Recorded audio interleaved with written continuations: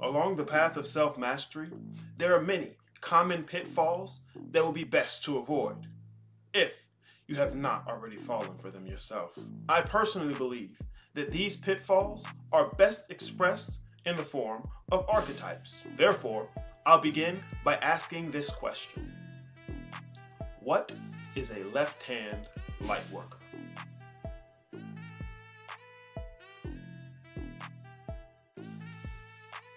There are many, many people who get into the idea of being spiritual or doing spiritual work that come from a paradigm of helping others and bringing light to the world. From ideas such as raising the consciousness of the planet, whatever the hell that means, to things like insisting that people finally wake up, as if you could wake them up. Now, from this vast group of people, who are most certainly not the subject of this conversation, let the dead lie with the dead, there are those who stumble upon things like occultism, and more specifically, the left hand path, then find themselves interested in such. I call these people left hand light workers.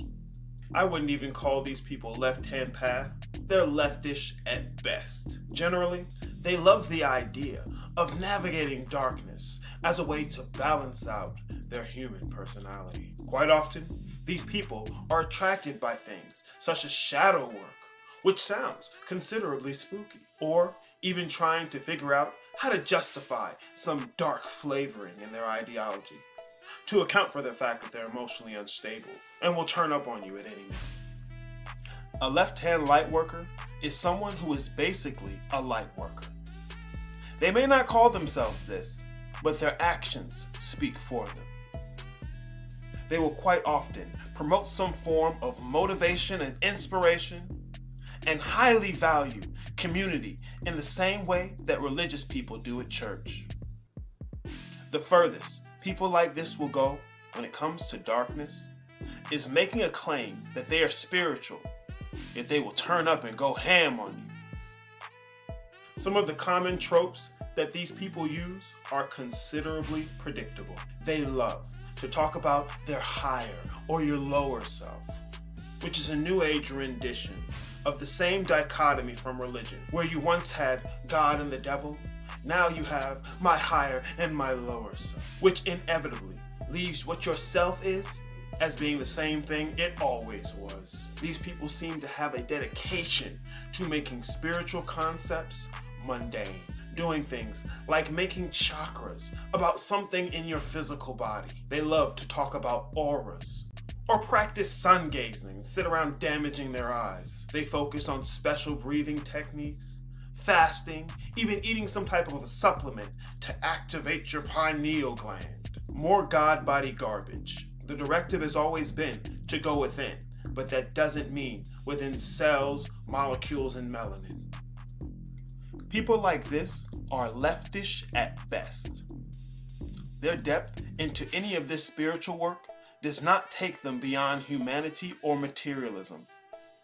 Yes, they may claim that they are gods or energy beings, but a roach is that. It's not something significant in reality, and ultimately, a Christian could have said the same thing. Everything is energy and vibration.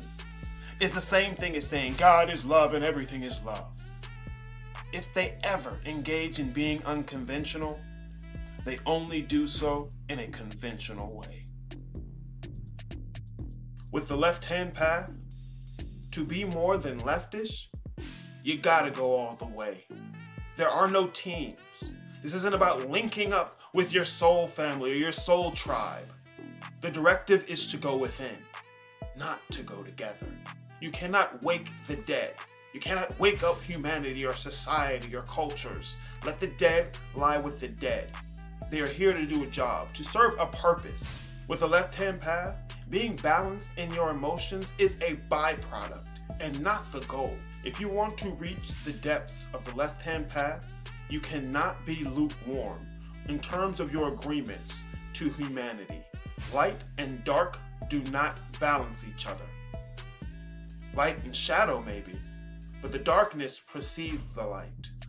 As fast as light may find itself to be, wherever it ends up, not only was darkness already there, it was waiting. With the left hand path, the goal here is not for you to be a better human being. Even though balancing your emotions may be a byproduct of some of this work, it is most certainly not the goal. You should be digging down to the roots of those emotions, rolling in them, feeling exactly where the controversy is coming from, throwing yourself to the depths of those dissonances. That way, you can see how it is you're agreeing to them and not trying to feel like some new spooky Buddha human. Going within is well beyond the bounds and framework of humanity and your human personality. This work is not to give you superhuman powers. Human is the lie.